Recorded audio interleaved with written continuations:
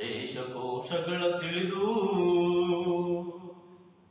ಜಗದ ದುಃಖಗಳ ಅರಿತು ಕಷ್ಟಕ್ಕೆ ಕಾರಣ ಕಂಡು ಹಿಡಿದ ಬುದ್ಧ ಆಗಲಿಲ್ಲ.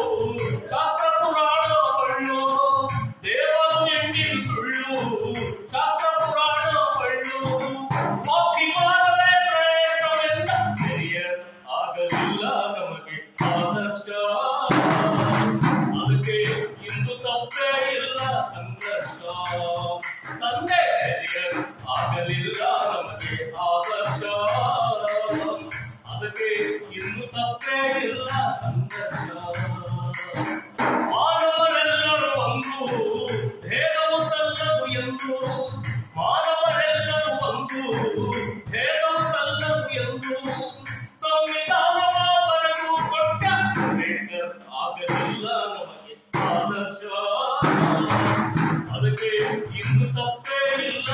ಸಂಘರ್ಷ ಬಾಬಾ ಅಂಬೇಡ್ಕರ್ ಆಗಲಿಲ್ಲ ನಮಗೆ ಆದರ್ಶ ಅದಕ್ಕೆ ಇನ್ನು ತಪ್ಪೇ ಇಲ್ಲ ಸಂಘರ್ಷ ಕೋಶಗಳ ತಿಳಿದು ಜಗದ ದುಃಖಗಳ ಅರಿತು ಕಷ್ಟಕ್ಕೆ ಕಾರಣ ಕಂಡು ಹಿಡಿದ ಬುದ್ಧ ಆಗಲಿಲ್ಲ ನಮಗೆ ಆದರ್ಶ ಅದಕ್ಕೆ ಇಂದು ತಪ್ಪೇ ಇಲ್ಲ ಸಂಘರ್ಷ ಅದಕ್ಕೆ ಇಂದು ತಪ್ಪೇ ಇಲ್ಲ ಸಂಘರ್ಷ ಅದಕ್ಕೆ ಇನ್ನು ತಪ್ಪೇ ಇಲ್ಲ. ಸಂಘರ್ಷ.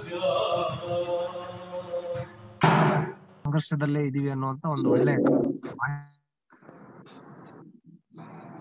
ಇರುವಂತ ಹಾಡನ್ನ ಹಾಡಿದ್ರಿ. ನಿಮ್ಗೆ ಸಮಸ್ತ ಸಮಸ್ತ ಮಾನವಬಂಧುತ್ವ ವೇದಿಕೆ ಎಲ್ಲರ ಪರವಾಗಿ ನಿಮ್ಗೆ ಧನ್ಯವಾದಗಳು. ಎಲ್ಲರಿಗೂ ಜೈ ಭೀಮ್ ಹೇಳ್ತಾ ಇವತ್ತಿನ ಕಾರ್ಯಕ್ರಮ ತಮಗೆಲ್ರಿಗೂ ಗೊತ್ತಿದೆ. ಆಲ್ರೆಡಿ ಮಾಹಿತಿ ಬಂದಿರುತ್ತೆ ಅಂತ ಅನ್ಕೊಳ್ತೀನಿ. ಮಾನವ ಬಂಧುತ್ವ ವೇದಿಕೆ ಕರ್ನಾಟಕ ಬಂಧುತ್ವದ ಬೆಳಕು ಎನ್ನುವ ಒಂದು ಉಪನ್ಯಾಸ ಮಾಲಿಕೆಯನ್ನು ಶುರು ಮಾಡಿದೆ. ಇದು ಇವತ್ತು ನಲವತ್ತೊಂದನೇ ಉಪನ್ಯಾಸ ಮಾಲಿಕೆ.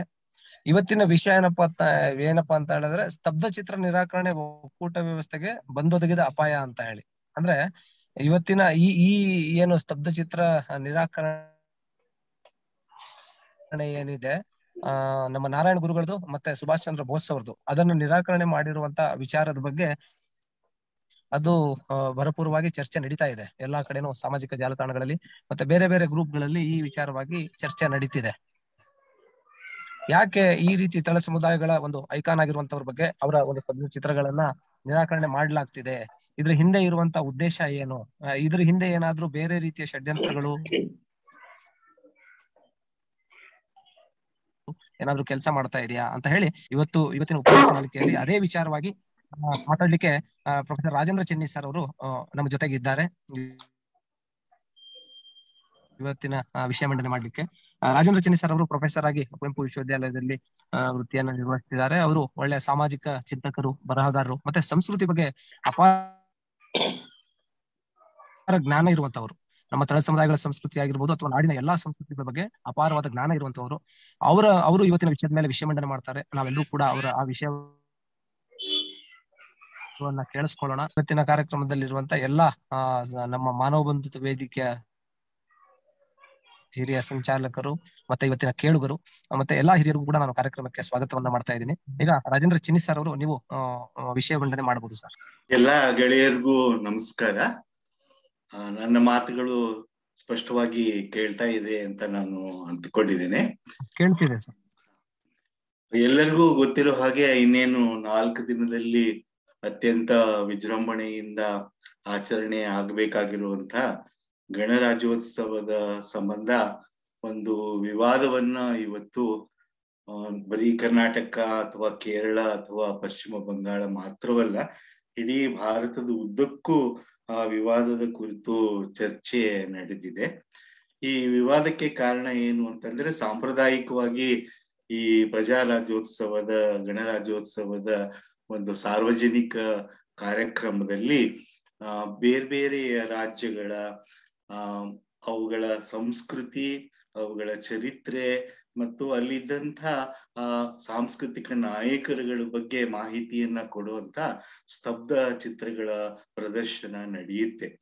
ಇದರ ಒಟ್ಟು ಉದ್ದೇಶ ಏನು ಅಂತಂದ್ರೆ ಬಹುಮುಖಿಯಾಗಿರುವಂತ ಬಹುಭಾಷೆಗಳು ಇರುವಂತ ಬಹು ಸಂಸ್ಕೃತಿಗಳು ಹಾಗೂ ಧರ್ಮಗಳು ಇರುವಂತ ನಮ್ಮ ಈ ರಾಷ್ಟ್ರದ ವಿವಿಧ ಮುಖಗಳನ್ನ ಆದಷ್ಟು ಒಂದು ಸಂಗ್ರಹ ರೂಪದಲ್ಲಿ ಜನಮಾನಸಕ್ಕೆ ತಲುಪೋ ಹಾಗೆ. ಮತ್ತು ಆ ದಿನದಂದು ನಾವು ಅವರನ್ನೆಲ್ಲ ನೆನಪು ಮಾಡ್ಕೊಳ್ಳೋ ಹಾಗೆ ಒಂದು ಸಂದರ್ಭ ಸೃಷ್ಟಿ ಆಗ್ಲಿ ಅನ್ನೋ ಕಾರಣದಿಂದ ಈ ಸಂಪ್ರದಾಯವನ್ನ ನಡೆಸ್ಕೊಂಡು ಬಂದಿದ್ದಾರೆ.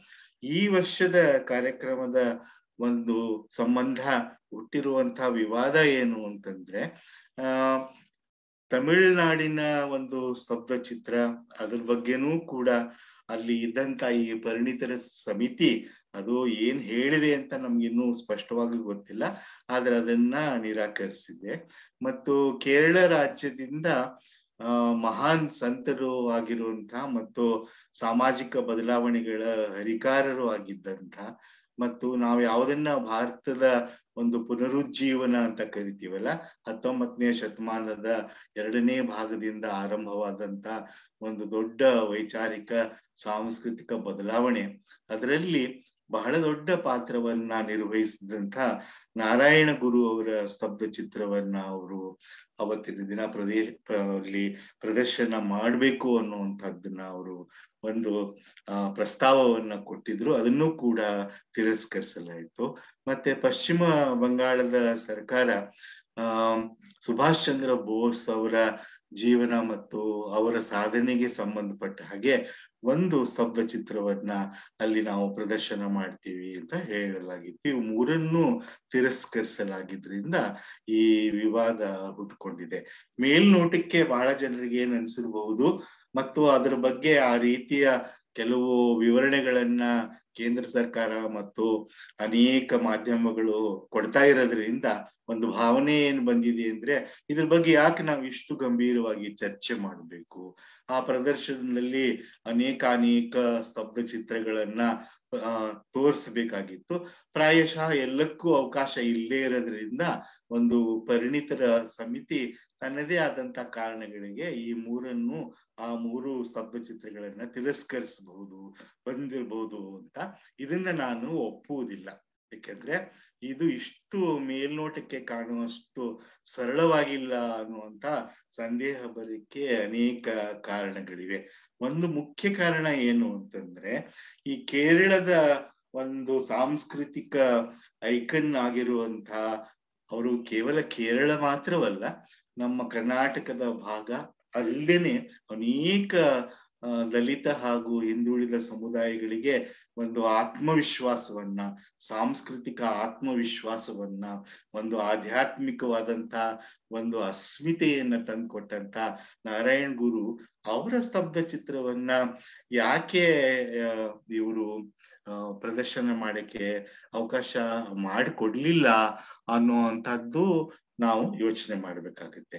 ಆ ಇದು ಇವ್ರು ಹೇಳೋ ಹಾಗೆ ಏನೋ ಪರಿಣಿತರ ಸಮಿತಿ ಯಾವುದೋ ಕಾರಣದಿಂದ ಇದನ್ನ ಒಪ್ಪಲಿಲ್ಲ ಅನ್ನೋದಕ್ಕೆ ಅದರ ಬಗ್ಗೆ ಸಂಶಯ ಬರೋದಕ್ಕೆ ನನಗೆ ಕಾರಣ ಏನಿದೆ ಅಂತಂದ್ರೆ, ಇದ್ರ ಬಗ್ಗೆ ಸಿಕ್ಕುವಂತ ಎಲ್ಲ ಪತ್ರಿಕೆಗಳನ್ನ ಹಾಗೂ ಮಾಧ್ಯಮ ಮೂಲಗಳನ್ನ ನಾನು ಪರೀಕ್ಷೆ ಮಾಡಿ ನೋಡಿದಾಗ ಒಂದು ಮಾತು ಅಲ್ಲಿ ಏನ್ ಬಂತು ಅಂತಂದ್ರೆ, ಆ ಚರ್ಚೆಗಳು ಏನ್ ನಡೆದುದ್ವೋ ಆ ಒಂದು, ಆ, ಪ್ರಕ್ರಿಯೆ, ಈ ಯಾವ್ದನ್ನ ಆಯ್ಕೆ ಮಾಡ್ಬೇಕು ಅನ್ನೋ ಪ್ರಕ್ರಿಯೆ ನಡೆದಿದ್ದಾಗ ಆ ಸಮಿತಿ ಒಂದ್ ಮಾತನ್ನ ಹೇಳ್ತಂತೆ, ಇಲ್ಲ, ನೀವು ಕೇರಳದಿಂದ ನೀವು ಸ್ತಬ್ಧ ಚಿತ್ರವನ್ನ, ಆಮ್ ಶಂಕರಾಚಾರ್ಯರದನ್ನ ನೀವು ಇಲ್ಲಿ, ಆ, ಒಂದ್ ರೀತಿ ಅದನ್ನ ನೀವು ಸಿದ್ಧ ಮಾಡ್ಬೇಕಾಗಿತ್ತು ಅನ್ನೋ ಮಾತನ್ನ ಅವರು ಹೇಳಿದ್ರಂತೆ. ಇದು, ಆ, ಎರಡ್ ಮೂರು ಮೂಲಗಳಲ್ಲಿ ಬಹಳ ಖಚಿತವಾಗಿ ನಾನು ಓದಿದ್ದೀನಿ ಇದನ್ನ ಇದು ನಿಜ ಅನ್ನೋದಾದ್ರೆ, ಇಲ್ಲಿ ಪ್ರಶ್ನೆಗಳು ಅನೇಕ ಪ್ರಶ್ನೆಗಳಿವೆ. ಅದರಲ್ಲಿ ನಾಲ್ಕು ಪ್ರಶ್ನೆಗಳನ್ನು ನಾನು ಎತ್ಕೊಳ್ಳಕ್ಕೆ ಪ್ರಯತ್ನ ಮಾಡ್ತೇನೆ. ಮೊದಲನೆಯ ಪ್ರಶ್ನೆ ಏನು ಅಂತಂದ್ರೆ ಈಗ ಒಂದು ಸ್ತಬ್ಧ ಚಿತ್ರದ ಮೂಲಕ ನಮ್ಮ ರಾಷ್ಟ್ರದ ಒಂದು ರಾಜ್ಯ ತನ್ನ ಚರಿತ್ರೆ ಅಥವಾ ಸಂಸ್ಕೃತಿಯನ್ನ ಪ್ರತಿನಿಧಿಸಬೇಕು ಅಂದಾಗ ಅದರ ಆಯ್ಕೆ ಯಾರಿಗೆ ನಾವು ಬಿಟ್ಕೊಡ್ಬೇಕು? ಆ ಆಯ್ಕೆಯನ್ನ ಆ ರಾಜ್ಯ ಯಾವ ಆಧಾರದ ಮೇಲೆ ಮಾಡಿರುತ್ತೆ?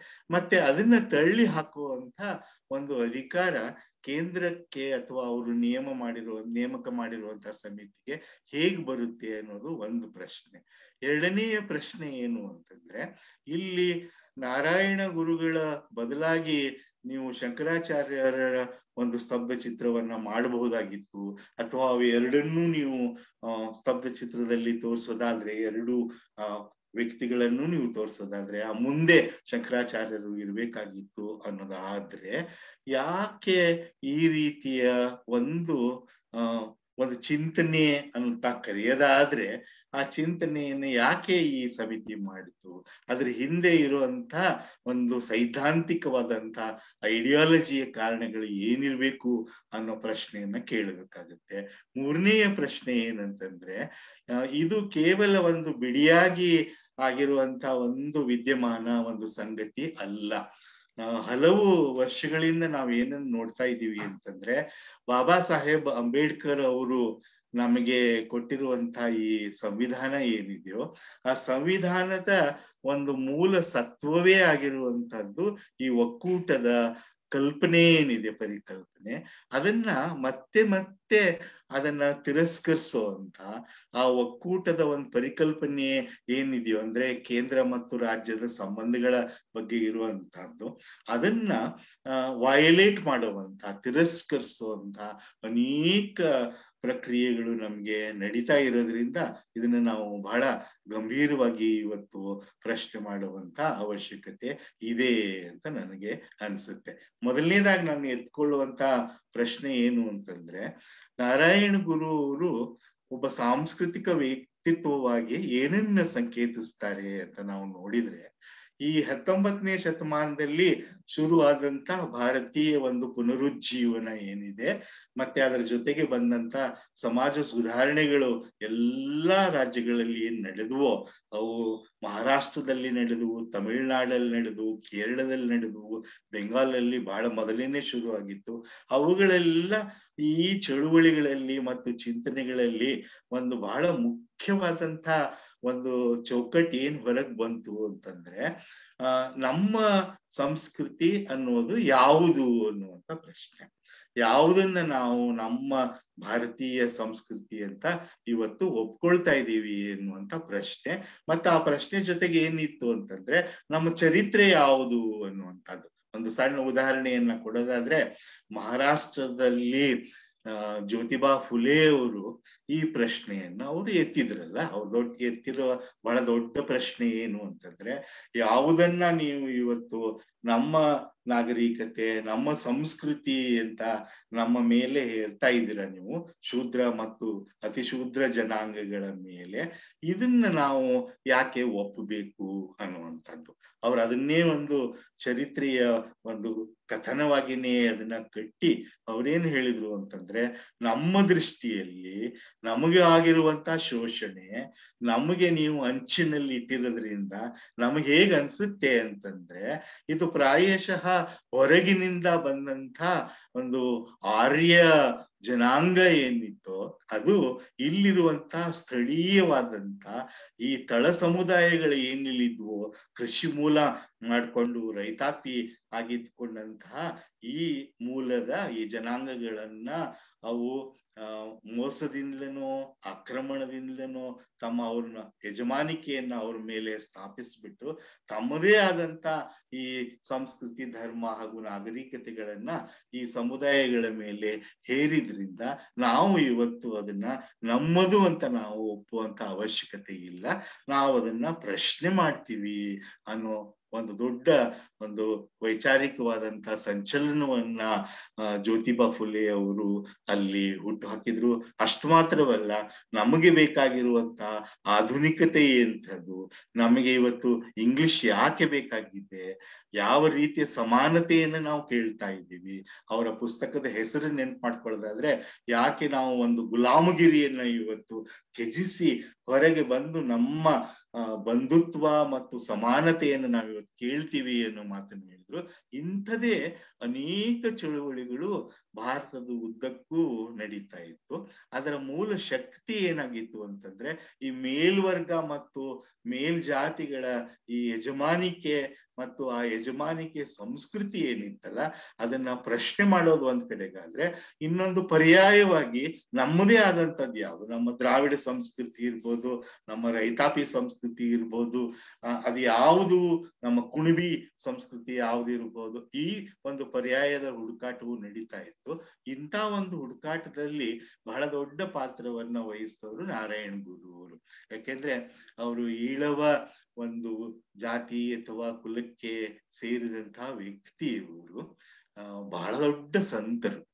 ಆಧುನಿಕ ಕಾಲದ ಮಹಾನ್ ಸಂತರಲ್ಲಿ ಅವರು ಒಬ್ರು. ಬಹಳ ದೊಡ್ಡ ಪಂಡಿತರು ಕೂಡ ಆಗಿದ್ರು. ಅದನ್ನ ಎಂದೂ ಅವರು ತೋರಿಸ್ತಾ ಇರಲಿಲ್ಲ.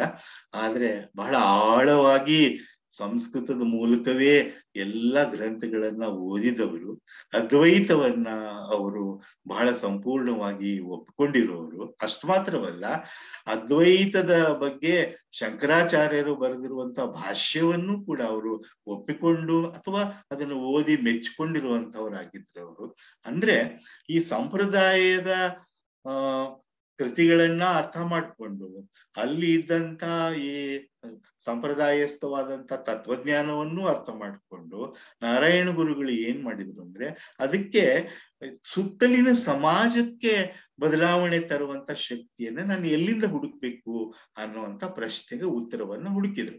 ಅವ್ರಿಗೆ ಮೊದಲು ಕಂಡಂತ ಉತ್ತರ ಏನಂತಂದ್ರೆ, ಇದು ಕೇವಲ ಆರ್ಥಿಕ ಬದಲಾವಣೆಯಿಂದ ಆಗ ಸಾಧ್ಯ ಇಲ್ಲ. ಒಂದು ಸಾಂಸ್ಕೃತಿಕ ಬದಲಾವಣೆ ಆಗ್ಬೇಕು. ಆ ಸಾಂಸ್ಕೃತಿಕ ಬದಲಾವಣೆ ಆಗ್ಬೇಕಂದ್ರೆ ಈ ಜನಾಂಗಗಳಲ್ಲಿರುವಂತ ಕೀಳರಿಮೆ ಹೋಗ್ಬೇಕು. ನಮಗೆ ಸಂಸ್ಕೃತಿನೇ ಇಲ್ಲ, ಇತ್ಯಾದಿಗಳನ್ನ ಏನು ಈ ಮೇಲ್ ವರ್ಗಗಳು ಹೇಳ್ಕೊಟ್ಟಿವ್ಯೋ ಅದನ್ನ ನಾವು ತಿರಸ್ಕರಿಸಿ ನಮ್ಮ ಅಧ್ಯಾತ್ಮ ಏನು ಅನ್ನೋದನ್ನ ನಾವೇ ಕಂಡುಕೋಬೇಕು ಅನ್ನೋ ರೀತಿನಲ್ಲಿ ಅವರು ಒಂದು ತಮ್ಮದೇ ಆದಂತಹ ಒಂದು ಆಧ್ಯಾತ್ಮಿಕತೆಯನ್ನ ಅವರು ಕಟ್ಟಿಕೊಟ್ರು, ತಮ್ಮದೇ ಆದಂತಹ ವೈಚಾರಿಕತೆಯನ್ನ. ನಮಗೆ ಆ ನಂತರ ಬಂದಂತ ಕುವೆಂಪು ಅವ್ರನ್ನು ಹೋದಾಗ ನಾರಾಯಣ ಗುರು ಅವರೇ ನಮಗೆ ನೆನಪಾಗ್ತಾರೆ. ವಿಶ್ವಮಾನವ ಒಂದು ಕಲ್ಪನೆ. ಏನವರು ನಾರಾಯಣ ಗುರುಗಳು ಕೊಟ್ರು ಅಂದ್ರೆ ಮಾನವ ಕುಲ ಒಂದೇ ಅನ್ನುವಂತ ಮಾತನ್ನ ಈ ಜಾತಿ ಇತ್ಯಾದಿಗಳ ಈ ಇನ್ಇಕ್ವಾಲಿಟೀಸ್ ಅಸಮಾನತೆಗಳು ಅವು ಸಹಜವೂ ಅಲ್ಲ, ನಾವು ಒಪ್ಪಬೇಕು, ಇಲ್ಲ ಅನ್ನುವಂಥದ್ದನ್ನ ಅವ್ರು ಏನು ಸ್ಪಷ್ಟವಾಗಿ ಹೇಳ್ಕೊಟ್ರು. ಅಥವಾ ಪೂಜೆ ಮಾಡ್ಬೇಕು ಅನ್ನುವಂತ ಒಂದು ಶ್ರದ್ಧೆ ಇದ್ದವರಿಗೆ ಅವರು ಕೆಳ ಜನಾಂಗದವರಾಗಿದ್ದೆ ಅವ್ರು ತಮ್ಮ ದೇವಾಲಯಗಳನ್ನ ತಾವೇ ಕಟ್ಕೋಬೇಕು ಅನ್ನುವಂತ ಒಂದು ಕ್ರಾಂತಿಕಾರಿಕೆ ಆದಂತ ಮಾತನ್ನು ನಾರಾಯಣ ಗುರುಗಳು ಹೇಳಿದ್ರು. ಅವ್ರ ಬಗ್ಗೆ ಸಂಪ್ರದಾಯಸ್ಥರು ಟೀಕೆ ಮಾಡಿದಾಗ ನೀವು ಹೇಗೆ ಒಂದು ಶಿವಲಿಂಗದ ಒಂದು ದೇವಾಲಯವನ್ನ ಕಟ್ಟಿದ್ರಿ ಅನ್ನ ನಿಮ್ಮೆಲ್ಲರಿಗೂ ಗೊತ್ತಿದೆ. ಅವ್ರು ಏನ್ ಹೇಳಿದ್ರು ಅಂತಂದ್ರೆ, ಇದು ನಿಮ್ಮ ವೈದಿಕ ಶಿವಲಿಂಗ ಅಲ್ಲಪ್ಪ ಇದು ಇದು ಈಳವರ ಶಿವಲಿಂಗ, ನಾನು ಈಳವರ ದೇವಸ್ಥಾನ ಕಟ್ಟಿದ್ದೀನಿ ಅಂತ ಹೇಳಿದ್ರು. ಅಷ್ಟು ಮಾತ್ರವಲ್ಲ, ಅವರು ಬಹಳ ಗಾಢವಾಗಿ ಯೋಚನೆ ಮಾಡಿದ್ರು. ಈ ಬದಲಾವಣೆಯನ್ನ ತರಬೇಕಾದ್ರೆ ನಾವು ಏನ್ ಮಾಡ್ಬೇಕು ಅಂತ ನಾನು ಇದ್ರ ಬಗ್ಗೆ ಹೆಚ್ಚು ದೀರ್ಘವಾಗಿ ಹೇಳಕ್ ಹೋಗಲ್ಲ. ಆದ್ರೆ ಅವರ ಸಂದೇಶ ವಾಕ್ಯಗಳನ್ನು ಓದಿದ್ರೆ ಅವರ ಆಧ್ಯಾತ್ಮಿಕ ಸಮಾನತೆ ಇರಬೇಕು, ಸಾಮಾಜಿಕ ಸಮಾನತೆ ಇರಬೇಕು ಹಿಂದುಳಿದ ವರ್ಗಗಳು ಕೂಡ ತಮ್ಮ ಪೂರ್ಣ ಮನುಷ್ಯತ್ವವನ್ನ ಪಡೆಯುವಂತ ಒಂದು ಅವಕಾಶ ಆಗ್ಬೇಕು ಅಂತ. ಅದನ್ನ ಗಾಂಧಿಯವರಂತವ್ರ ಜೊತೆಗೇನೆ ಅವರು ಒಂದು ದೊಡ್ಡ ಚರ್ಚೆಯಲ್ಲಿ ಅದನ್ನ ಪ್ರಸ್ತಾಪ ಮಾಡಿದ್ರು. ಎಂಥ ಅವರ ಚಿಂತನೆ ಅಂತಂದ್ರೆ, ಆ ಚರ್ಚೆ ಮುಗಿದ ಮೇಲೆ ಅವರು ತಮ್ಮ ಜೊತೆಗಿದ್ದ ಸಂಗಾತಿಗಳಿಗೆ ಹೇಳ್ತಾರೆ, ಯಾಕೆ ಗಾಂಧಿಯವರಿಗೆ ಈಗಲೂ ಸ್ವಲ್ಪ ವರ್ಣ ಮತ್ತು ಜಾತಿ ಇವುಗಳ ಬಗ್ಗೆ ಬಹಳ ಖಚಿತವಾದಂತ ತಿಳುವಳಿಕೆ ಸ್ವಲ್ಪ ಕಡಿಮೆ ಇದೆಯಲ್ಲ ಅಂತ ನಾರಾಯಣ ಗುರು ಹೇಳ್ತಾರೆ. ಅಂದ್ರೆ ಎಷ್ಟು ಮಟ್ಟಿಗೆ ಅವರು ಸೂಕ್ಷ್ಮವಾಗಿ ಯೋಚನೆ ಮಾಡಿದ್ರು. ಅಂದ್ರೆ ನನಗ್ ಕಾಣ್ತಾ ಇರೋದು ಏನಂತಂದ್ರೆ, ಈ ಚರಿತ್ರೆಯ ಮೂಲಕ ನಾರಾಯಣ್ ಗುರುಗಳು ಏನೇನ್ ಸಂಕೇತಿಸ್ತಾರೆ ಅಂತಂದ್ರೆ, ಶೂದ್ರ ಮತ್ತು ಕೆಳಗಿನ ಆ ಜಾತಿಗಳ ಆಧ್ಯಾತ್ಮಿಕ ಸ್ವಾತಂತ್ರ್ಯವನ್ನ, ಆಧ್ಯಾತ್ಮಿಕ ಆತ್ಮಗೌರವವನ್ನ, ವಿಶ್ವಾಸವನ್ನ ಅವರು ಸಂಕೇತಿಸ್ತಾರೆ. ಹಾಗೆ ಸಂಕೇತಿಸೋದ್ರ ಜೊತೆಗೇನೆ ಅವ್ರು ಏನ್ ಹೇಳ್ತಾ ಇದ್ದಾರೆ ಅಂದ್ರೆ, ಒಂದು ಪರ್ಯಾಯ ಸಂಸ್ಕೃತಿ ಇದೆಯಪ್ಪ. ನಮ್ದು ಅನ್ನುವಂತ ಒಂದು ನಾಗರಿಕತೆ ಇದೆ. ನಾವು ಅದನ್ನ ಕಟ್ಕೊಳ್ತೀವಿ ಅನ್ನೋ ಮಾತು ಪ್ರಾಯಶಃ ನನಗೇನ್ ಅನ್ಸುತ್ತೆ ಅಂತಂದ್ರೆ ಈಗ ಇರುವಂತಹ ಅಧಿಕಾರದಲ್ಲಿರುವಂತಹ ಶಕ್ತಿಗಳಿಗೆ ಇದು ಸರಿ ಹೋಗಲಿಲ್ಲ ಅಂತ ಕಾಣುತ್ತೆ. ಆದ್ರಿಂದಲೇನೆ ಇದು ಯಾವಾಗಲೂ ಸುಮ್ ಸುಮ್ನೆ ನಡೆಯುವಂತವಲ್ಲ ಇವು. ಬಹಳ ಯೋಚನೆ ಮಾಡಿರ್ತಾರೆ ಅದನ್ನ ನಿಲ್ಲಿಸೋವಾಗ. ಆವಾಗ ಈ ಬಹುಶಃ ಸೂಚನೆ ಏನ್ ಬಂತು ಅಂತಂದ್ರೆ ಶಂಕರಾಚಾರ್ಯರನ್ನ. ಶಂಕರಾಚಾರ್ಯರು ಮಹಾನ್ ತತ್ವಜ್ಞಾನಿಗಳು. ಅದ್ರ ಬಗ್ಗೆ ಎರಡು ಮಾತಿಲ್ಲ. ಅವರ ಸಾಮಾಜಿಕ ವಿಚಾರಗಳನ್ನ ಬದಿಗಿಟ್ಟು ನೋಡಿದ್ರೆ ಒಬ್ಬ ದೊಡ್ಡ ತತ್ವಜ್ಞಾನಿಗಳೇ ಅವರು. ಆದ್ರೆ ಅವರನ್ನ ಇವತ್ತು ಒಂದ್ ರೀತಿಯಲ್ಲಿ ಏನ್ ಮಾಡ್ತಾ ಇದ್ದಾರೆ ಅಂತಂದ್ರೆ ಅಪ್ರಾಪ್ರಿಯೇಟ್ ಮಾಡ್ಕೊಳ್ಳೋದು. ಅವ್ರನ್ನ ಇಲ್ಲ ಇಲ್ಲ, ಇದು ನಮ್ಮ ಸಿದ್ಧಾಂತಕ್ಕೆ ಅವರು ಸರಿಯಾದ ಐಕನ್ ಅಂತ ತಪ್ಪ ತಪ್ಪಾಗಿ ಅವರನ್ನು ಕೂಡ ಮುಂದೆ ಇಡ್ತಾ ಇದ್ದಾರೆ. ಈ ಕಾರಣದಿಂದ ಹೀಗೇನಾದ್ರೂ ಸೂಚನೆ ಕೊಟ್ಟಿರಬಹುದು ಅನ್ನೋದು ನಮ್ಗೆ ಗೊತ್ತಾಗತ್ತೆ.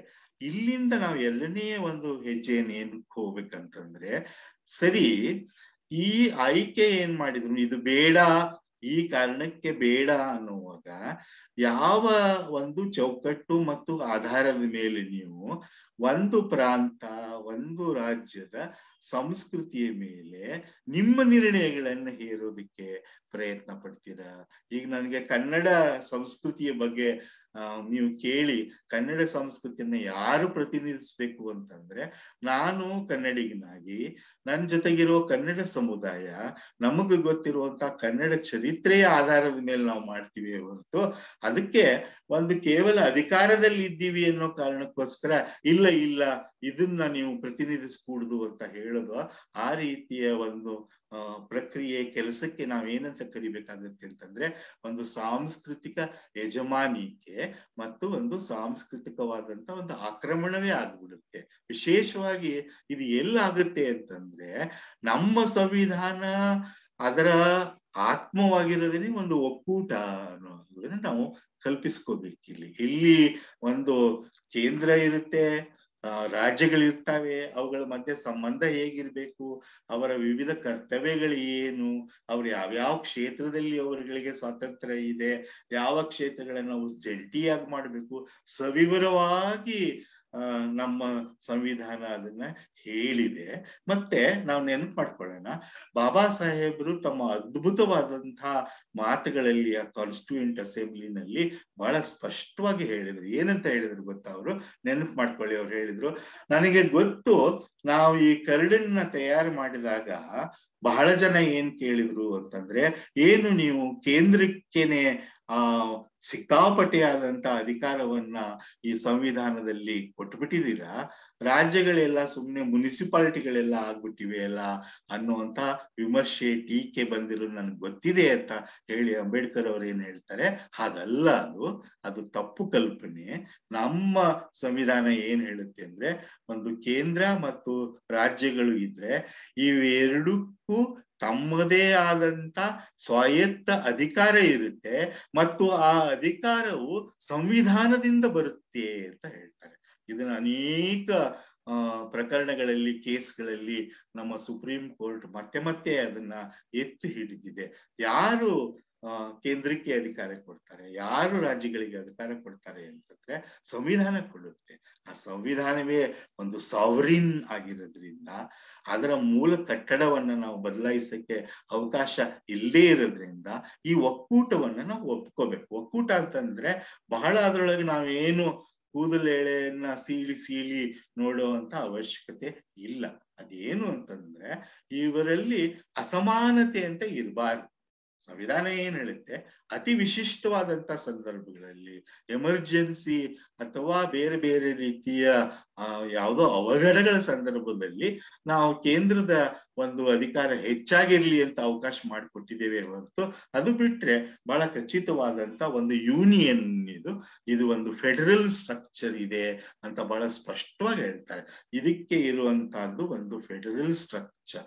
ಅದು ಯುನಿಟೇರಿಯನ್ ಅಂತ ನಾವು ಅದನ್ನ ನಮ್ಮ ಸಂವಿಧಾನದಲ್ಲಿ ನಾವು ಹೇಳಿಲ್ಲ ಅನ್ನೋ ಮಾತನ್ನ ಹೇಳ್ತಾರೆ. ಆದ್ರೆ ಅಂಬೇಡ್ಕರ್ ಅವರ ಬಹಳ ಮುಖ್ಯ ಮಾತುಗಳು ಈ ವಾ, ಈ ವಿವಾದಕ್ಕೆ ಸಂಬಂಧಪಟ್ಟಿವೆ. ಅಂಬೇಡ್ಕರ್ ಅವರು ಏನ್ ಹೇಳಿದ್ರು ಅಂದ್ರೆ, ಕೇವಲ ಒಂದು ಸಂವಿಧಾನ, ಲಿಖಿತ ಸಂವಿಧಾನದಿಂದ ಇದು ಸಾಧ್ಯ ಆಗಲ್ಲ ಅಂತ. ಅವ್ರ ಮಾತನ್ನೇ ನಿಮಗೆ ಕೋಟ್ ಮಾಡಿ ಹೇಳೋದಂದ್ರೆ, ಒಂದು ಅತಿ ಒಳ್ಳೆಯ ಸಂವಿಧಾನವನ್ನ ನೀವು ಕೆಟ್ಟವರ ಕೈಯಲ್ಲಿ ಕೊಟ್ರೆ ಅದು ಕೆಟ್ಟ ಸಂವಿಧಾನ ಆಗುತ್ತೆ ಅಂತ ಹೇಳಿದ್ರು ಅವರು.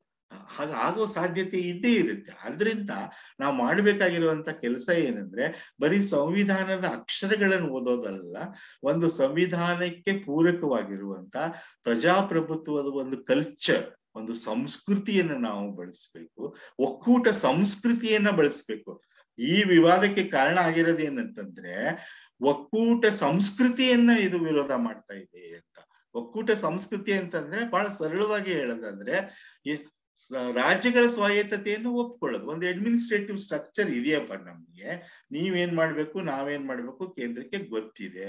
ಒಂದು ಸುಪ್ರೀಂ ಕೋರ್ಟ್ ಇದೆ. ನಮ್ಗಿರೋದು ಒಂದೇ ಸುಪ್ರೀಂ ಕೋರ್ಟ್ ಕೇಂದ್ರಕ್ಕೂ ನಮಗೂ, ಅದು ನಮಗೆ ಗೊತ್ತಿದೆ. ಹಾಗಿರುವಾಗ ನಾವ್ ಏನನ್ನ ಬೆಳೆಸ್ಕೊಂಡ್ ಬರ್ಬೇಕು ಅಂತಂದ್ರೆ, ಈ ಒಕ್ಕೂಟ ಮನೋಭಾವವನ್ನ, ಒಕ್ಕೂಟ ಜೀವನ ದೃಷ್ಟಿಯನ್ನ, ಒಂದು ಒಕ್ಕೂಟದ ಕಲ್ಚರ್ ಅನ್ನ ನಾವು ಬೆಳೆಸ್ಬೇಕಾಗಿತ್ತು ಅಂತ ಬಾಬಾ ಸಾಹೇಬ್ರು ಮತ್ತೆ ಮತ್ತೆ ಹೇಳಿದ್ರು. ಈಗ ಆಗ್ತಾ ಇರೋ ಘಟನೆಗಳನ್ನ ನಾವು ನೋಡ್ತಾ ಹೋದ್ರೆ, ನೀವು ಜಿ ಎಸ್ ಟಿಯನ್ನ ನೋಡಿ, ಅದು ರಾಜ್ಯಗಳ ಸ್ವಾಯತ್ತತೆ, ಆರ್ಥಿಕ ಸ್ವಾಯತ್ತತೆ ಮೇಲೆ ಅದು ಆಕ್ರಮಣವೇ ಅದನ್ನ ಕೇಂದ್ರೀಕರಣ ಮಾಡ್ಕೊಂಡ್ಬಿಡುವಂತಹದ್ದು ಜಿ ಎಸ್ ಟಿಯನ್ನ ಈಗ ಬಂದಿರುವಂತ ಎನ್ ಇ ಪಿ ಅಥವಾ ನ್ಯೂ ಎಜುಕೇಶನ್ ಪಾಲಿಸಿ ಅದರಲ್ಲಿ ರಾಜ್ಯಗಳ ಪಾರ್ಟಿಸಿಪೇಷನ್ ಸುಮ್ಮನೆ ಹೆಸರಿಗೆ ಮಾತ್ರ ಇತ್ತೆ ಹೊರತು ನೀವು ಅದನ್ನ ಸೂಕ್ಷ್ಮವಾಗಿ ಓದಿದ್ರೆ ಸೆಂಟ್ರಲೈಸಿಂಗ್ ಇಡೀ ಎಲ್ಲ ಪ್ರಜೆಗಳಿಗೆ ತಲುಪಬೇಕಾಗಿರೋ ಬಹುಮುಖ್ಯವಾದಂತಹ ಶಿಕ್ಷಣವನ್ನೇ ಇದು ಏನ್ ಮಾಡ್ಬಿಡ್ತಾ ಇದೆ ಅಂದ್ರೆ ಕೇಂದ್ರೀಕರಣಗೊಳಿಸ್ಬಿಟ್ಟು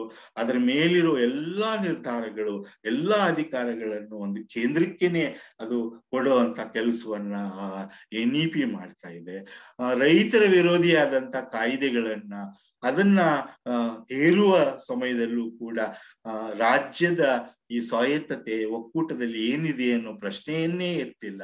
ಇನ್ನೇನು ಕೆಲವು ದಿನಗಳಲ್ಲಿ ಜಾರಿಗೆ ಬರುವಂತ ಕಾರ್ಮಿಕ ವಿರೋಧಿ ಕಾಯ್ದೆಗಳು ಕೂಡ ಇದೆ. ಅದನ್ನು ಕೂಡ ಈಗ ಮೇಲಿಂದ ಹೇರುವಂತದ್ದು ಅಂದ್ರೆ ನಮ್ಮ ಸಂವಿಧಾನದ ಪರಿಕಲ್ಪನೆ ಏನಿತ್ತು ಅಂತಂದ್ರೆ ಅದನ್ನ ಒಬ್ಬ ಒಬ್ಬ ವಿದ್ವಾಂಸರು ಬಹಳ ಚೆನ್ನಾಗಿ ಹೇಳಿದ್ದಾರೆ.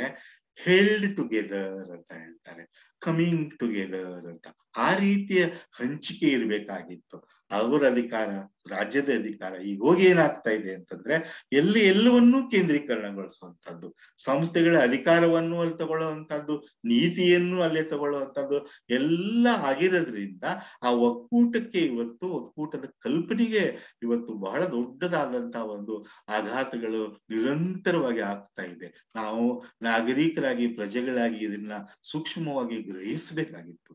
ಒಂದೊಂದು ನೀತಿನೂ, ಒಂದೊಂದು ಇವರ ಕಾರ್ಯವಿಧಾನವೂ ಕೂಡ ಹೇಗಿದೆ ಅಂತಂದ್ರೆ, ಅದು ರಾಜ್ಯಗಳ ಒಂದು ಸ್ವಾಯತ್ತತೆಯನ್ನ ಮೊಟಕು ಮಾಡುವಂತಹದ್ದು, ಅದನ್ನ ಬಹಳ ಕೆಳ ಶ್ರೇಣಿಗೆ ತಳ್ಳುವಂತದ್ದಾಗಿರೋದ್ರಿಂದ ಅದರ ಭಾಗವಾಗಿ ಈಗ ಏನಾಗ್ತಾ ಇದೆ, ಸಂಸ್ಕೃತಿಯ ಮೂಲಕವೂ ಈ ಒಕ್ಕೂಟದ ಕಲ್ಪನೆಯನ್ನ ಒಡೆಯಲಾಗ್ತಾ ಇದೆ ಅಂತ. ಯಾಕೆ ಈ ಸ್ತಬ್ಧ ಚಿತ್ರದ ವಿಷಯ ನಮಗೆ ಮುಖ್ಯವಾಗಿ ಕಾಣಬೇಕು ಅಂತಂದ್ರೆ ಸಾಂಸ್ಕೃತಿಕ ನೆಲೆಯಲ್ಲೂ ಕೂಡ ಇದಾಗ್ತಾ ಇದೆ. ಏನಂತಂದ್ರೆ ನಿಮ್ಮ ನಿಮ್ಮ ಬಹಳ ವೈವಿಧ್ಯಪೂರ್ಣವಾದಂತ ಸಂಸ್ಕೃತಿಗಳನ್ನ ಸಾವಿರಾರು ವರ್ಷಗಳಿಂದ ಎಲ್ಲ ನಮ್ಮ ನಾಡುಗಳು ಬೆಳೆಸ್ಕೊಂಡು ಬಂದಿವೆ ಅಲ್ವಾ? ಆದ್ರೆ ಅದನ್ನ ಅಮಾನ್ಯ ಮಾಡಿಬಿಟ್ಟು ಪಕ್ಕಕ್ಕೆ ಇಟ್ಬಿಟ್ಟು ಇದು ಮಾತ್ರ ಭಾರತೀಯ ಸಂಸ್ಕೃತಿ ಅನ್ನೋದನ್ನ ಮತ್ತೆ ಮತ್ತೆ ನಮಗೆ ಹೇರ್ತಾ ಇರುವಂತಹದ್ದು. ಇವತ್ತು ನಿನ್ನೆಯಿಂದ ಈ ಕೆಲವು ದಿನಗಳಿಂದ ನಾವು ಮತ್ತೆ ಮತ್ತೆ ನೋಡ್ತಾ ಇದ್ದೀವಿ. ನಾವು ಸಂಸ್ಕೃತಕ್ಕೆ ಎಷ್ಟೊಂದು ಕೋಟಿ ಕೋಟಿ ದುಡ್ಡನ್ನು ಕೊಡ್ತೀವಿ. ಕನ್ನಡ ವಿಶ್ವವಿದ್ಯಾಲಯಕ್ಕೆ ಕೊಡಲ್ಲ ಅನ್ನುವಂತ ಮಾತಂದ್ರೆ, ಅಲ್ಲಿ ಇರೋ ಕಲ್ಪನೆ ಏನು ಅಂತಂದ್ರೆ, ಕನ್ನಡ ಅಂತಂದ್ರೆ ನಾಡ ಭಾಷೆ ಅಷ್ಟೇನೆ. ಸಂಸ್ಕೃತ ಅಂತಂದ್ರೆ ಅದು ರಾಷ್ಟ್ರದ ಒಂದು ಭಾಷೆ. ಯಾರು ಈ ಕಲ್ಪನೆಗಳನ್ನು ಸೃಷ್ಟಿ ಮಾಡಿದ್ರು? ಈ ರೀತಿಯ ಯೋಚನೆ ಏನಿದೆಯಲ್ಲ? ನಾವು ಸಂಸ್ಕೃತ ದ್ವೇಷ ಅಲ್ವೇನೇ ಅಲ್ಲ. ಅದು ಜ್ಞಾನದ ಒಂದು ದೊಡ್ಡ ಭಾಷೆಯಾಗಿ ಬೆಳ್ಕೊಂಡ್ ಬಂದಿದೆ ತುಂಬಾ ನಾವು ಅದಕ್ಕೆ ಗೌರವವನ್ನು ಕೊಡೋಣ. ಪ್ರಶ್ನೆ ಇರೋದು ಏನು ಅಂತಂದ್ರೆ ಅದನ್ನ ನೀವು ರಾಜ್ಯಗಳ ಮೇಲೆ ಯಾಕೆ ಪರೋಕ್ಷವಾಗಿ ಹೇರ್ತಾ ಇರುವಂತಹದ್ದು?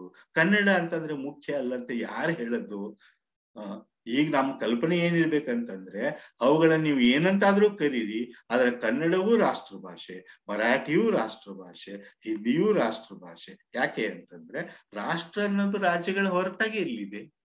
ಎಲ್ಲ ರಾಜ್ಯಗಳು ಸೇರಿನೇ ಒಂದು ಈಗ ಭಾರತ ಅನ್ನುವಂತ ರಾಷ್ಟ್ರ ಆಗಿದೆ ಅಲ್ವಾ? ಹಾಗಾಗಿ ಏನಾಗ್ತಾ ಇದೆ ಇಲ್ಲಿ, ಸಾಂಸ್ಕೃತಿಕವಾಗಿನೂ ಕೂಡ ಅವೈದಿಕ ಅಂತ ಏನ್ ಕರಿತೀವೋ ನಾವು? ನಾರಾಯಣ ಗುರುಗಳಾಗ್ಲಿ ಅಥವಾ ನಮ್ಮ ಜ್ಯೋತಿಬಾ ಫುಲೆಯವರಾಗ್ಲಿ ಅಥವಾ ತಮಿಳುನಾಡಿನಲ್ಲಿ ನಾವು ಅನೇಕ ಜನ ಅಂಥವ್ರನ್ನ ಆ ಕಾಲದಲ್ಲಿ ಬೌದ್ಧ ಧರ್ಮದ ಕಡೆಗೆ ಹೋಗಿರೋರನ್ನ ನಾವು ನೋಡ್ತೀವಿ. ಆಮೇಲೆ ಆ ವೈಕಂ ಸತ್ಯಾಗ್ರಹದಲ್ಲಿ ಭಾಗವಹಿಸಿದಂತ ಅನೇಕರನ್ನ ನಾವು ಅಲ್ಲಿ ನೋಡ್ತೀವಿ. ಬಾಬಾ ಸಾಹೇಬ್ರು ಆ ಮಹಾಡ್ ಮತ್ತು ಮುಂದೆ ನಾಸಿಕ್ ಮತ್ತೆ ಆಮೇಲೆ ಪುಣೆ ಅಲ್ಲಿ ನಡೆಸಿದಂತ ಈ ದೇವಾಲಯ ಪ್ರವೇಶ ಅಲ್ಲೆಲ್ಲ ಕಡೆಗಳನ್ನು ಕಾಣುವುದು ಏನು ಅಂತಂದ್ರೆ ಒಂದು ಈ ನೆಲ ಸಂಸ್ಕೃತಿಗಳು ತಳವರ್ಗಗಳ ಸಂಸ್ಕೃತಿಗಳು ತಮ್ಮ ಜೀವಂತಿಕೆಯನ್ನ ಪಡೆದುಕೊಂಡು ಅದಕ್ಕೆ ನಾವ್ ಏನ್ ಮಾಡ್ಬೇಕಾಗಿತ್ತು? ಭಾರತವೆನ್ನುವ ರಾಷ್ಟ್ರದಲ್ಲಿ ಒಂದು ಸಮಾನ ಸ್ಥಾನವನ್ನ ಈ ಎಲ್ಲಾ ಸಂಸ್ಕೃತಿಗಳಿಗೆ ನಾವು ಕೊಡ್ಬೇಕಾಗಿತ್ತು. ಆ ಉದ್ದೇಶದಿಂದನೇ ನಾವು ನಮ್ಮ ಸಂವಿಧಾನವನ್ನ ರಚಿಸಿಕೊಂಡ್ವಿ. ಅದ ಆಗ್ತಾ ಇರೋದೇನು ಅಂದ್ರೆ ಈ ನಿದರ್ಶನದಲ್ಲಿ ನೋಡಿದ ಹಾಗೆ ನಾನು ನಿರ್ದೇಶನ ಕೊಡ್ತೇನೆ. ನಾನು ಯಾವುದು ನಿಮ್ಮ ಸಂಸ್ಕೃತಿ ಅಂತ ನಾನು ನಿಮಗೆ ನಿರ್ದೇಶನ ಕೊಡ್ತೀನಿ ಹೀಗ್ ಮಾಡಬೇಡಿ, ಇವರೆಲ್ಲ ಅವರ ಸ್ತಬ್ಧ ಚಿತ್ರವನ್ನ ಕೊಡಿ ಅನ್ನುವಂಥದ್ದು. ಅಂದ್ರೆ ಗೆಳೆಯರೆ, ನಾನು ಹೇಳ್ತಾ ಇರುವಂತದ್ದು ಇದನ್ನ ನಾವು ಹೇಗ್ ನೋಡ್ಬೇಕು ಅಂತಂದ್ರೆ, ಎಲ್ಲೂ ನಾವು ಹೆಚ್ಚು ಗಂಭೀರವಾಗಿ ಎಲ್ಲರೂ ಅರ್ಥ ಮಾಡ್ಕೊಳ್ದೇ ಇದ್ರು ಆ ಪ್ರಜಾಪ್ರಭುತ್ವದ ನೆಲೆಗಟ್ಟಾಗಿರುವಂತ ಒಕ್ಕೂಟದ ಕಲ್ಪನೆಗೆ ಮತ್ತೆ ಮತ್ತೆ ಮತ್ತೆ ಆಘಾತಗಳಾಗ್ತಾ ಇವೆ. ಅದನ್ನ ಪ್ರಜಾಪ್ರಭುತ್ವದ ಒಂದು ಚೌಕಟ್ಟನ್ನ ಮೀರಿ ಹೋಗಿ ಒಂದು ಕೇಂದ್ರದ ದೊಡ್ಡ ಅಧಿಕಾರದ ಒಂದು ರಚನೆ ಆಗ್ತಾ ಇದೆ. ಅದರ ಭಾಗವಾಗಿ ನಾವು ಇದನ್ನೆಲ್ಲವನ್ನು ನಾವು ನೋಡ್ಬೇಕಾಗಿದೆ. ಉದಾಹರಣೆಗೆ ಈ ವಿವಾದಕ್ಕೆ ಇವರು ಪಶ್ಚಿಮ ಬಂಗಾಳದ, ಆ, ಮಮತಾ ಬ್ಯಾನರ್ಜಿ ಅವರು ಹೇಳಿರುವಂತ ಮಾತು, ಅವರು ಬರೆದಿರುವಂತಹ ಪತ್ರ ಸ್ಟಾಲಿನ್ ಅವರು ತಮಿಳುನಾಡಿಂದ ಬರೆದಿರುವಂತ ಪತ್ರ, ಇವುಗಳನ್ನ ನೀವು ಓದಿ ನೋಡಿದ್ರೆ ಖಂಡಿತವಾಗ್ಲೂ ಅವುಗಳನ್ನ ನಾವು ಅವಕಾಶ ಕೊಡಕ್ ಸಾಧ್ಯ ಇತ್ತು. ಅಂತಹದ್ದೇನು ಅದೇನು ತಲೆ ಹೋಗುವಂತ ವಿಚಾರ ಆಗಿರ್ಲಿಲ್ಲ. ಆದ್ರೆ ಇಲ್ಲಿ ತೊಂದರೆ ಎಲ್ಲಿ ಬರ್ತಿದೆ ಅಂತಂದ್ರೆ, ಈ ಅಧಿಕಾರವೇ ಒಂದು ದೊಡ್ಡ ಯಜಮಾನಿಕೆಯಾಗಿ ಕುಳಿತುಕೊಂಡಿರೋದ್ರಿಂದ. ಹೀಗಾಗಿ ನಾವು ಇದನ್ನ ಹೆಚ್ಚು ಸೂಕ್ಷ್ಮವಾಗಿನೇ ನಾವು ಇದನ್ನ ಗಮನಿಸ್ಕೊಂಡು ಹೋಗ್ಬೇಕು ಅಂತ ನನಗೆ ಅನ್ಸುತ್ತೆ. ನೀವು ಒಂದು ಮಾತನ್ನ, ಪ್ರಶ್ನೆಯನ್ನ ನನಗೆ ಕೇಳ್ಬೋದು. ಆಯ್ತಪ್ಪ, ಈಗ ಜಿ ಎಸ್ ಟಿ ವಿಷಯದೆಲ್ಲ ಹೋರಾಟ ಮಾಡೋಣ. ಅನುದಾನದ ವಿಷಯಗಳಲ್ಲಿ ಹೋರಾಟ ಮಾಡೋಣ. ರಾಜ್ಯಗಳಿಗೆ ಬರ್ಬೇಕಾಗಿರುವಂತ ಒಂದು ಆದಾಯ ಅಥವಾ ಹಣದ ಒಂದು ಶೇರಿಂಗ್ ಒಂದು ಹಂಚಿಕೆ ಅದ್ರ ಬಗ್ಗೆ. ಈ ಸಂಸ್ಕೃತಿ ಮತ್ತು ಸಂಕೇತಗಳ ಬಗ್ಗೆ ಯಾಕೆ ಇಷ್ಟು ನಾವು ತಲೆ ಕೆಡಿಸ್ಬೇಕು? ಒಂದು ಸ್ತಬ್ಧ ಚಿತ್ರ, ಒಂದು ಸಂಕೇತ ಅಲ್ವಾ ಅಂತ. ಅದಕ್ಕೆ ನನ್ನ ಉತ್ತರ ಏನು ಅಂತಂದ್ರೆ, ರಾಷ್ಟ್ರ ಮತ್ತು ರಾಷ್ಟ್ರೀಯತೆ ಅನ್ನೋವು ಅವು ಸಂಕೇತಗಳನ್ನೇ ಆಧರಿಸಿರ್ತವೆ ಅಲ್ವಾ? ನಾವು ರಾಷ್ಟ್ರ ಅನ್ನೋದಕ್ಕೆ ಏನಂತ ಕರಿತೀವಿ? ಇಮ್ಯಾಜಿನ್ಡ್ ಕಮ್ಯುನಿಟಿ ಅಂತ. ಒಂದು ಕಲ್ಪಿತ ಸಮುದಾಯ ಅದು. ನಾನು ಇಲ್ಲಿ ಕುತ್ಕೊಂಡು ಅಸ್ಸಾಂನ ಒಬ್ಬನನ್ನ ನಾನು ಜೀವನದಲ್ಲಿ ನೋಡಿಯೇ ಇರಲ್ಲ. ನೋಡಕ್ ಸಾಧ್ಯವೇ ಆಗಿರಲೇ ಇರ್ಬೋದು ನನಗೆ. ಯಾಕೆ ಅವನು ಭಾರತೀಯ, ನಾನು ಭಾರತೀಯ ಆಗ್ತೀವಿ? ನಾನು ನನ್ನ ರಾಜ್ಯ ಬಿಟ್ಟು ಇನ್ನೊಂದ್ ಕಡೆ ಹೋಗದೇನೆ ಇರ್ಬೋದು. ಅಂತ ಅನೇಕ ಬಡವರು ಹತ್ತು ಮೈಲಿ ದೂರದಿಂದಲೂ ಆಚೆಗೆ ಹೋಗದೇ ಇರ್ಬೋದು ಹಳ್ಳಿಯಿಂದ. ಅವ್ರು ಹೇಗ್ ಭಾರತೀಯ ಆಗ್ತಾರೆ? ಅವರು ಭಾರತ, ಒಬ್ಬ ನೋಡದೇ ಇರುವಂತ ಬೆಂಗಾಲಿನ ಅವ್ರ ಜೊತೆಗ್ಲೇನೆ ಒಬ್ಬ ಭಾರತೀಯ ಯಾಕಾಗ್ತಾನೆ ಅಂತಂದ್ರೆ ರಾಷ್ಟ್ರದ ಕಲ್ಪನೆನೇ ಅಂತದ್ದು ನಾವು ಒಂದು ಕಟ್ಕೊಂಡಿದೀವಿ. ನಾವು ಬಂಧುತ್ವ, ನಮ್ ಜೊತೆಗೆ ನಾವು ಒಬ್ರೊಬ್ರು ಇರ್ಬೇಕು ಅಂತ. ಬಾಬಾ ಸಾಹೇಬರ ಸುಂದರವಾದಂತ ಮಾತುಗಳನ್ನ ನಾವು ಹೇಳೋದಾದ್ರೆ ಒಂದು ಅಸೋಸಿಯೇಷನ್ ಅಂತಾರೆ ಅವರು ಅದಕ್ಕೆ. ಬಂಧುತ್ವಪ್ಪ ಅದು ರಾಷ್ಟ್ರ ಅಂತಂದ್ರೆ ಅದು ಚುನಾವಣೆ ಅಲ್ಲ. ಅದು ಕಲಮು ಅಧಿಕಾರಗಳ ಪ್ರಶ್ನೆ ಅಲ್ಲ. ರಾಷ್ಟ್ರ ಅಂದ್ರೆ ಏನಾಗ್ಬೇಕು ಅಂತಂದ್ರೆ ಅಸೋಸಿಯೇಷನ್ ಆಗ್ಬೇಕು. ಒಬ್ಬೊಬ್ಬರ ನಡುವೆ ಒಂದು ಬಂಧುತ್ವ ಬೆಳೆಯುವಂತಹದ್ದನ್ನ ಈ ರಾಷ್ಟ್ರ ಕಟ್ಟಬೇಕು. ಅದಕ್ಕೋಸ್ಕರ ನಾವು ಇಂಥ ಒಂದು ಚೌಕಟ್ಟನ್ನ ನಿಮ್ಗೆ ಹಾಕಿ ಕೊಟ್ಟಿದ್ದೇವೆ ಅಂತ. ಉದಾಹರಣೆಗೆ ಈಗ ಒಂದು ರಾಷ್ಟ್ರ ಧ್ವಜ ಅಂತ ಅನ್ಕೊಳ್ಳಿ ಯಾಕೆ ನಾವು ಅದನ್ನ ರಾಷ್ಟ್ರದ ಸಂಕೇತವೇ ಅನ್ಕೊಳ್ತೀವಿ ಹೇಳಿ? ಯಾ ಯಾರು ಅದನ್ನ ಸುಮ್ನೆ ಒಂದು ಬಟ್ಟೆ ಅಂತ ಅನ್ಕೊಳ್ಳಲ್ಲ ತಾನೆ? ಯಾಕಂದ್ರೆ ರಾಷ್ಟ್ರ ಅನ್ನದೇ ಒಂದು ಕಲ್ಪನೆ ಅದು. ಅದು ಬರೀ ಸರ್ಕಾರ ಅಲ್ಲ, ಅದೊಂದು ಕಲ್ಪನೆ. ಆ ಕಲ್ಪನೆಯನ್ನ ಅಂಬೇಡ್ಕರ್ ಅವ್ರು ಹೇಗ್ ಕಟ್ಕೊಟ್ರು? ಏನಂದ್ರೆ ಸಾರಿ ಜಾತಿ, ವರ್ಣ, ವರ್ಗಗಳಿಂದಾಗಿ ನಾವು ಭಾರತದಲ್ಲಿರುವಂತ ಜನ ಏನ್ ಮಾಡ್ಬಿಟ್ಟಿದೀವಿ ಗೋಡೆಗಳನ್ನ ಕಟ್ಕೊಂಡ್ ಬಿಟ್ಟಿದೀವಿ ಒಬ್ರಿಗೊಬ್ರಿಗೆ ಸಂಬಂಧ, ಒಂದು ಆಧುನಿಕ ಸಮಾಜದಲ್ಲಿ ಇರ್ಬೇಕಲ್ವಾ? ಅವ್ರು ಹೇಳಿದ್ರಲ್ಲ, ಸಮಾನತೆ ಮತ್ತು ಬಂಧುತ್ವ ಮತ್ತು ಸ್ವಾತಂತ್ರ್ಯ. ಈ ಮೌಲ್ಯಗಳೇ ಇಲ್ಲದೆ ಇರೋ ಹಾಗೆ ಆಗ್ಬಿಟ್ಟಿದೆ. ನಮ್ಮ ಹೊಸ ರಾಷ್ಟ್ರ ಅನ್ನೋದು ಇದನ್ನ ಬೆಳೆಸ್ಲಿ ಅಂತ. ಅದಕ್ಕೋಸ್ಕರ ಒಂದು, ಆ, ಬುಡ, ಒಂದು ಬುನಾದಿಯಾಗಿ ಅವರು ಮತ್ತು ಆ ಇಡೀ ಡ್ರಾಫ್ಟ್ ಮಾಡಿ, ಆ ಸಂ ಸಂವಿಧಾನವನ್ನು ಬರೆದಂತ ಎಲ್ಲರೂ ಯೋಚನೆ ಮಾಡಿ ಏನ್ ಮಾಡಿದ್ರು? ಇದು ಈ ರೀತಿಯ ಒಂದು ಸ್ಟ್ರಕ್ಚರ್ ಅದಕ್ಕೆ ಇರ್ಲಿ ಅಂತ. ಇನ್ನೊಂದು ಮಾತನ್ನ ಅವರು ಅಂಬೇಡ್ಕರ್ ಬಹಳ ಚೆನ್ನಾಗಿ ಏನ್ ಹೇಳಿದ್ರು ಅಂದ್ರೆ, ನೀವು ನನ್ನ ಮತ್ತೆ ಮತ್ತೆ ಕೇಳಿ ವಿಮರ್ಶೆ ಮಾಡಿದಿರಿ. ಇದೇನು ಯೂನಿಯನ್ನ ಅಥವಾ ಫೆಡರೇಷನ್ ಇದು ಫೆಡರಲ್ಲ ಅಥವಾ ಯುನಿಟೇರಿಯನ್ನ ಅಂತ ಮತ್ತೆ ಮತ್ತೆ ಕೇಳ್ತೀರಿ. ನಾನು ಏನ್ ಹೇಳುವ ಉತ್ತರ ಏನು ಅಂತಂದ್ರೆ ಆಯಾ ಸಂದರ್ಭದ ಅವಶ್ಯಕತೆಗೆ ತಕ್ಕ ಹಾಗೆ ಅದು ಯುನಿಟರಿಯೂ ಆಗಬಹುದು. ಮತ್ತು ಅದು ಇನ್ನೊಂದು ಕಡೆಗೆ ಫೆಡರೇಷನ್ ಫೆಡರಲ್ ಸ್ಟ್ರಕ್ಚರ್ ಅನ್ನೋದು ಹೊಂದಿರಬಹುದು ಅಂತ. ಅಂದ್ರೆ ಇದು ಯಾವುದನ್ನ ಆಧರಿಸುತ್ತೆ ಹಾಕಿದ್ರೆ ಇದು ಒಂದು ಯುನಿಟೇರಿಯನ್ ಅಪ್ಪ ಕೇಂದ್ರದಕ್ಕೆ ಎಲ್ಲಾ ಸಮಗ್ರ ಅಧಿಕಾರ ಇದೆ ಅಂತಾನು ನಮ್ಮ ಸಂವಿಧಾನ ಎಂದು ಹೇಳಲ್ಲ. ಆದ್ರೆ ಅದೇ ಹೊತ್ತಿಗೆ ಇಲ್ಲ ರಾಜ್ಯಗಳು ಯಾವ ರೀತಿಯಲ್ಲೂ ಕೇಂದ್ರಕ್ಕೆ ಸಂಬಂಧ ಇಟ್ಕೊಳ್ಳದೆ ಬೇಡ ಅನ್ನೋದನ್ನು ಅದು ಹೇಳಲ್ಲ.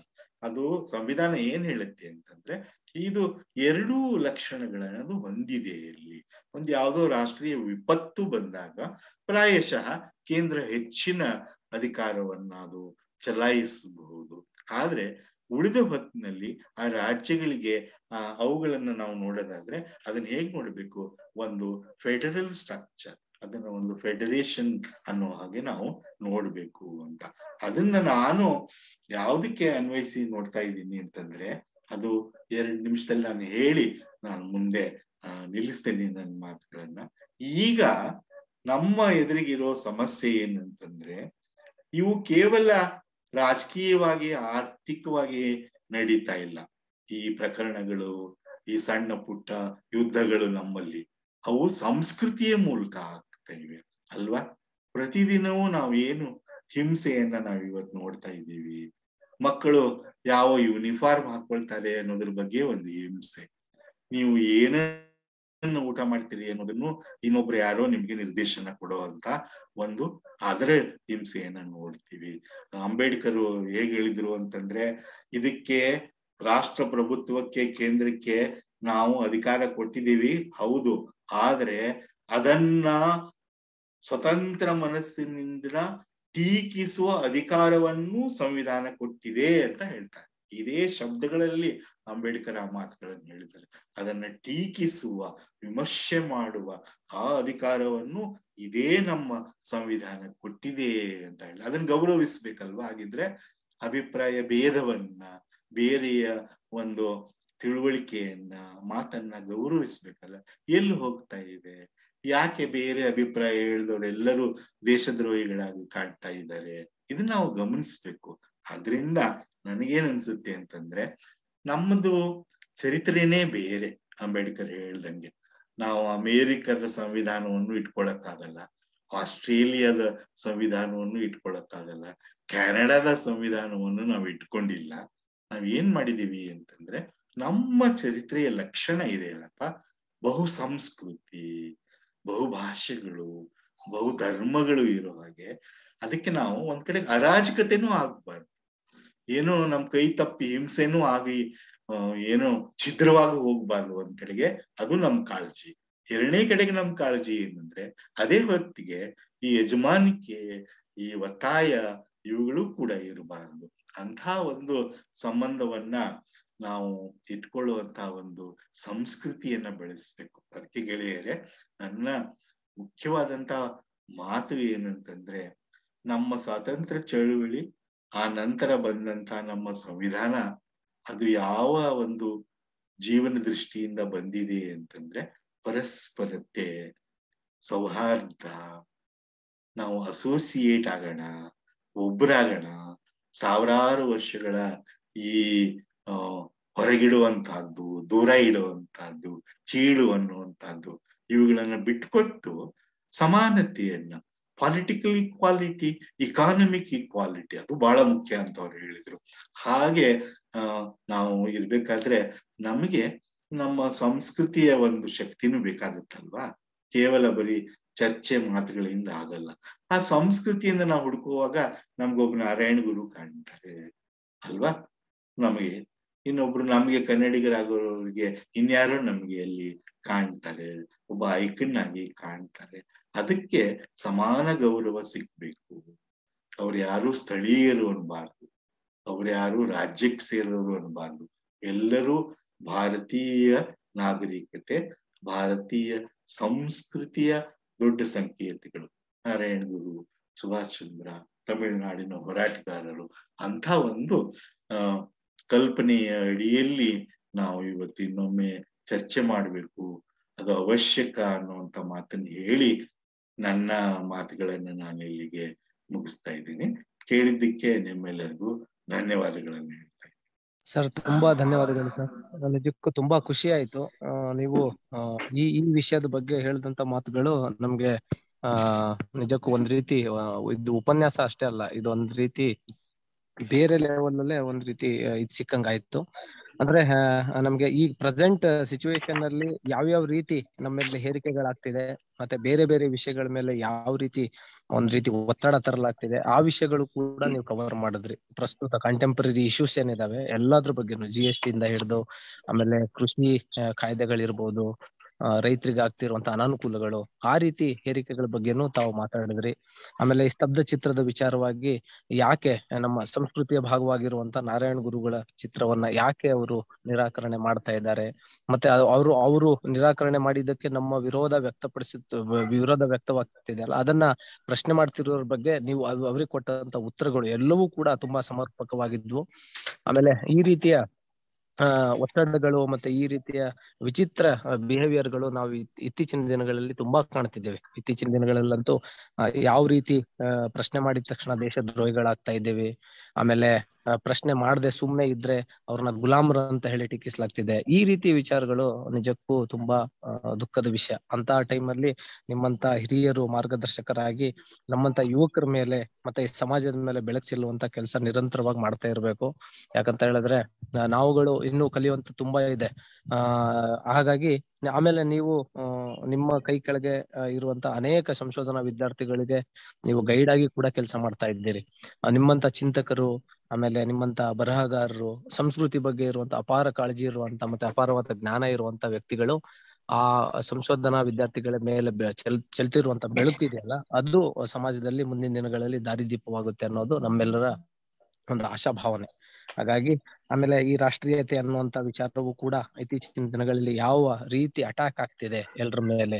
ಹಲವಾರು ಇಷ್ಟೊಂದು ವರ್ಷಗಳು ತಲತಲಾಂತರದಿಂದ ಜಾತಿ ವ್ಯವಸ್ಥೆಯಲ್ಲಿ ನಮ್ಮಲ್ಲಿ ಯಾವ ರೀತಿ ಬೇರೂರಿತು, ಅದರಿಂದ ಎಷ್ಟೊಂದು ಶೋಷಣೆ, ದೌರ್ಜನ್ಯ, ದಬ್ಬಾಳಿಕೆ ಅನುಭವಿಸ್ಕೊಂಡು ಬಂದಿದೆ ಒಂದು ಒಂದು ವರ್ಗ.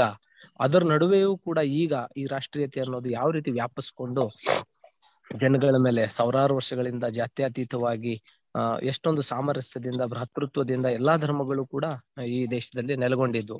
ಆದ್ರೆ ಇತ್ತೀಚಿನ ದಿನಗಳಲ್ಲಿ ಆ ಆಕ್ರೋಶ ಯಾಕೆ ಜಾಸ್ತಿ ಆಗ್ತಿದೆ? ಯಾರು ಜಾತಿ ವ್ಯವಸ್ಥೆನ ಬೇರೂರಿಸಿದ್ರು ಅವರೇ ಈ ದಿನ ಈ ರಾಷ್ಟ್ರೀಯತೆ, ಹಿಂದುತ್ವವಾದ ಅನ್ನೋದನ್ನ ಎತ್ತಿ ಹಿಡಿತಿದ್ದಾರೆ. ಅದ್ರ ಹಿಂದೆ ಏನ್ ಷಡ್ಯಂತ್ರ ಇದೆ? ಅದನ್ನ ನಾವು ಯಾವ ರೀತಿ ಅದನ್ನ ಎದುರಿಸಬೇಕು, ಯಾವ ರೀತಿ ಪ್ರಶ್ನೆ ಮಾಡಬೇಕು ಅನ್ನುವಂತ ವಿಚಾರಗಳನ್ನು ಕೂಡ ನೀವು ಬಹಳ ಚೆನ್ನಾಗಿ ಹೇಳಿದ್ರಿ. ಸಂವಿಧಾನದಲ್ಲಿ ಯಾವ್ಯಾವ ರೀತಿಯ ಪ್ರಶ್ನೆ ಮಾಡುವಂತ ಹಕ್ಕುಗಳು ನಮ್ಗಿದೆ. ಅಂಬೇಡ್ಕರ್ ಏನ್ ಹೇಳಿದ್ರು, ಈ ಫೆಡರಲ್ ಸ್ಟ್ರಕ್ಚರ್ ಬಗ್ಗೆ ಆಗ್ಲಿ ಯುನಿಟೇರಿಯನ್ ಬಗ್ಗೆ ಆಗ್ಲಿ, ಅದ್ರ ಬಗ್ಗೆ ನೀವು ಬಹಳ ಸಂಪೂರ್ಣವಾದಂತ, ಸಂಕ್ಷಿಪ್ತವಾಗಿ ಮಾಹಿತಿ ನೀಡಿದ್ರಿ. ನಿಮ್ಗೆ ನಮ್ಮ ಎಲ್ಲರ ಪರವಾಗಿ, ಕೇಳುಗರ ಪರವಾಗಿ, ಮತ್ತೆ ಮಾನವ ಬಂಧುತ್ವ ವೇದಿಕೆ ಪರವಾಗಿ ಆಮೇಲೆ ಮಾನವ ಬಂಧುತ್ವ ವೇದಿಕೆಯ ಸಂಚಾಲಕರ ಪರವಾಗಿ ನಿಮ್ಗೆಲ್ರಿಗೂ ಕೂಡ ತುಂಬು ಹೃದಯದ ಧನ್ಯವಾದಗಳು ಸರ್.